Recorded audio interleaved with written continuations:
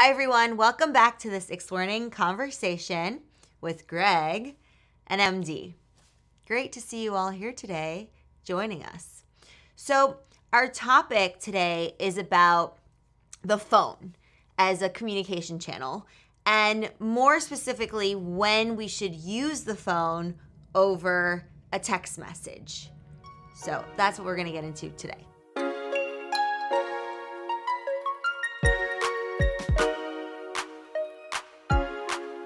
So funny that the term phone to me sounds antiquated at this point. Yeah. I almost think of like one sure. of those uh, spin spin phones. Yeah. Um, or like one of those. I mean, certainly very few people have a landline anymore, right? Yeah. But, uh, Totally. but of course, our smartphones do in fact still have the phone function, right. and sometimes there's a really good reason to use it. Yeah, and I think you know. So I was at the hairdresser um, at this point a year ago, and we were talking about basically, you know, uh, the hairdresser was talking about how clients would be really nervous about calling in and making an appointment, and so they noticed that they were not getting many calls. And so they moved to online reservations, and that just like exponentially increased their clientele business. and their business and then the few people would still call but it was remarkable and and she herself she was a young woman saying how she was not keen on making phone calls and even you know said that she basically had phone phobia Yeah, I totally get it. There's this um, sort of uh, this intensity to a phone call. Yeah. Right. There's this pressure to deliver um, and to make sure you say what you wanted to say, um, uh, almost on the fly. Yeah. That um uh, that that it's almost like you're on stage when you're on a phone, right? Right. And a lot of people get this like communication apprehension, almost stage fright, like you were alluding to. And Yeah. it's really interesting. Whereas, you know, in the past, before we had smartphones and text message capabilities, I mean, I remember calling my friends every day after school and friends calling my house and we would chat for a good, you know, a good while. Yeah. I mean, it was basically the only long distance form of uh, communication. Yeah. So it's really interesting how we've now shifted, and not everybody, obviously, but I've run into a lot of people telling me that they're not comfortable on the phone anymore and that they much prefer a text message. So, why is that? Why is that happening? What What are your some of your thoughts, Greg? Initially, Well, uh, you know, the truth is there are some things that are better conveyed through a text message. That's true. Right? And through text in general. yep, Um, I'm thinking of things like like logistics. exactly. Right? When yeah, you need a you need a written record of something when uh, you're trying to set a date Yep. or lay out, you know, uh, the time and date and location of where you're going. Mm-hmm. Um, with a text or an instant message, you can uh, use you can sort of embed links and stuff. right. Like send uh, send a like um, a map. Yeah, you can send Uh, a or map, location. a location pin, right? There's a bunch of um, functionality Yeah. uh, in a text uh, that you uh, don't get in a phone call. Right. And I would totally agree with that, especially when you're trying to search for something later on. So let's say you set a date a week or two out from when you're like you're talking present day, let's say, and it's the event is 2 weeks from now, and in the middle of all that, you don't want to, you know, you don't want to forget any details, so you have a nice searchable text message, so to speak. Yeah, you can find it. The other thing that's nice is um, using using uh, text messaging Yeah. or any kind of thing like that. Um, it just it ensures that uh, everything is communicated clearly, Mm-hmm. right? You can read through it and you know exactly what you said, and you can revisit it later, and make sure you didn't miss any details. Right. Whereas when you talk over the phone, uh, you don't necessarily remember what you said. The other person doesn't necessarily remember what you said. Yep. Uh, you may not remember what they said. Yeah. um, so again, when it comes to things where the details matter, uh, I really like to have a, a written record, For sure. just just for reference. Yeah. So, in terms of when the phone might be a good idea, well, you can use the phone for nice catch ups with friends, right? So, have you ever been in a situation where you're texting a friend and they're texting back, and all of a sudden it went from like one sentence, like, how are you, to fine, thanks, how are you, to then like these chunks of text and chains, and it's like all par- paragraph form, and it's very. Your fingers uh, are getting tired. You're getting tired typing. and it's like, well, that would be a good way then to segue, a good time to segue to something like the phone, where you can have a nice heart to heart over the phone, you know, and really get into the details that are not like important for logistics per se, but nice to kind of, you know, talk about the goings on in your life and things like that. Yeah, if we were going to use the example that we are using earlier, let's just say we are planning some kind of yeah. um, uh, outing with friends. Um, the other reason to use a phone would be uh, during the planning phase, right? Mm-hmm. Before you get to the actual specifics, mm-hmm. uh, when you're just brainstorming, right? right. Uh, if you try and do that uh, in in writing, it can get like you're saying very profuse and yes. Uh, diffuse, right? Yeah. So uh, it's just a mess of words and texts and you know, it would be much most most of which don't need to be retained. Right. I right? like that with the brainstorming phase, yeah. right? So you're kind of like throwing out ideas, getting a feel for the vibe, right? Exactly. Like let's say you want to have a picnic. Well, where would you do that? And you go into details like who's going to bring what and it's a nice thing to sort of uh, discuss over the phone.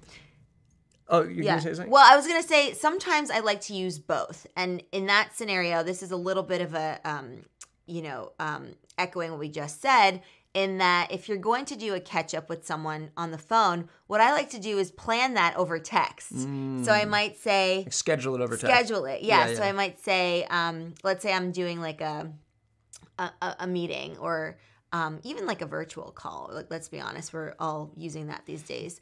Um, so I might send a text out to a group of friends and say, who's available Friday at seven for a nice phone call or video call, and then we'll plan it out. Everyone will confirm, set the date, and then we, you know, have the call at that time whenever we schedule it. Yeah. yeah. And to be clear, when we say phone call, I I, I think we're also talking about like Zoom calls, any kind of uh, real time voice chat. Yeah. Right. Is, is sort of what we're referring to here. Yeah.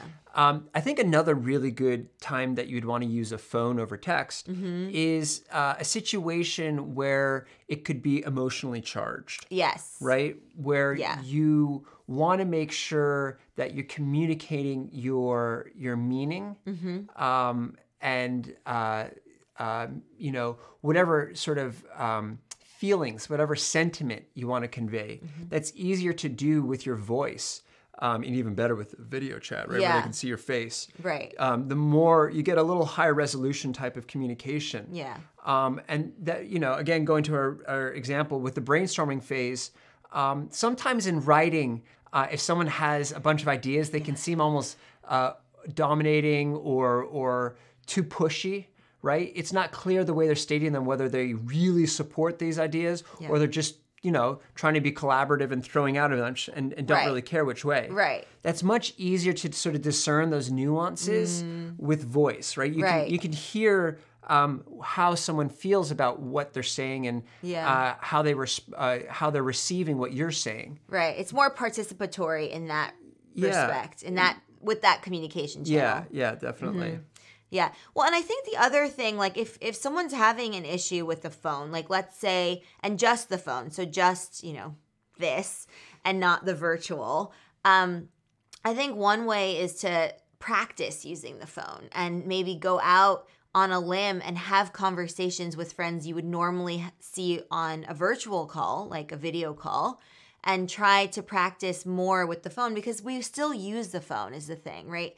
It's not completely outdated or obsolete because there are times where we do need to use the phone. Um, and so it's not a bad idea to try to practice on the phone. Yeah, absolutely. And not to mention, there are times where you prefer the phone over, say, a video chat. Yeah. Right? You want that synchrony, you want that real time conversation, but you don't want to worry about, you know, if people are dressed up or if they're in an appropriate, you know, area to, to be on the phone. um, right? Yeah. You don't you don't necessarily always want that visual uh, uh, component because sometimes yeah. that's just more than than than's required, mm-hmm. um, and it can add a little more stress to the conversation. The phone itself, just the the, the voice alone, uh, can be very effective while sort of maintaining people's privacy. It's less intrusive than something like a video call. Right, for sure, for sure. And again, like I feel like nowadays, like even in the last five years, with our friends and things, we don't necessarily just pick up the phone and call them the way we used to, right? Because everyone is busy these days. Even though everyone's on their phone 24 7, we still have that like sense of respect and boundaries in that they're probably doing something and can't talk right now, right? So it's my my personal feeling about this is scheduling a time to talk on the phone, yeah. right? Using your phone or even email but since we're talking about phone and text in this situation, texting and then talking mm-hmm. on the phone, right? Yeah. So. Yeah, I think that makes a lot of sense. Um, the reality is there are very good use cases for both. Yeah. And um, you know, being smart about which one you use can can dramatically enhance uh, the quality of your communication with your friends, with your colleagues, with your clients. Um, and it's amazing how uh, people who are effective at navigating these differences and choosing the right channel for the right yeah. situation. Mm-hmm. Um, it's it's it's amazing how much more they can get communicated and how much more clearly they can communicate by using those in a smart way. Right, for sure.